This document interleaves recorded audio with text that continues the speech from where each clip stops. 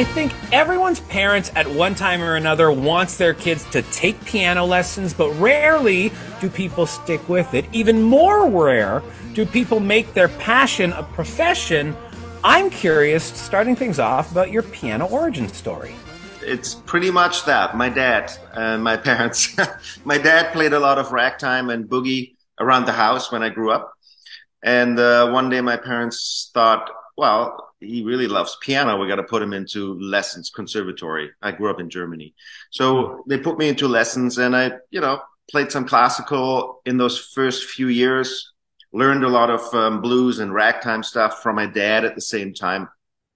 And then around when I was 13, um, my dad brought home a boogie woogie piano record, you know, like playing almost like early Jerry Lee Lewis kind of stuff um, of a German guy. And that did it for me. Then I was kind of like, okay, this is what I'm doing with my life.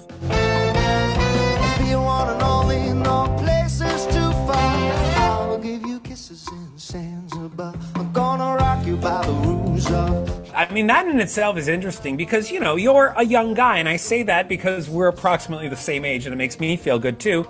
Uh, but it, this was all going back to your parents and, and their influence. But what do you think it was, uh, you know, in the music that kept it going for you and not just said, oh, that's, that's mom and dad's music, but I'm going to find my own way?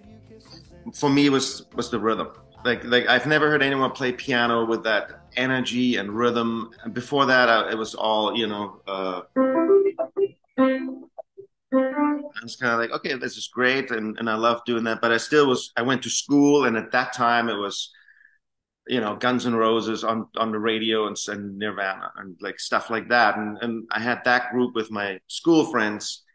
And then I heard this boogie woogie stuff, um, and I thought, okay, this is like rock music on the piano and and it got me into um, New Orleans jazz. It got me into contemporary jazz just by exploring it, and um, it was really that energy and that rhythm that just took a hold till now. So what you're saying is we're not going to get you covering November Rain and tickling the ivories like Axl? Video. For the wedding dress, maybe? yeah. Well, I mean, honestly, I I actually listened to that music as well, and and I love ACDC to this day. Um, but piano ACDC, I don't know. Thunderstruck doesn't sound the same on the piano.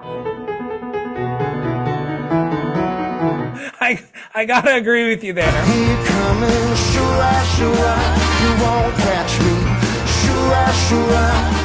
You know, when people do go see you live, what can they expect at a Michael Kaeshammer show?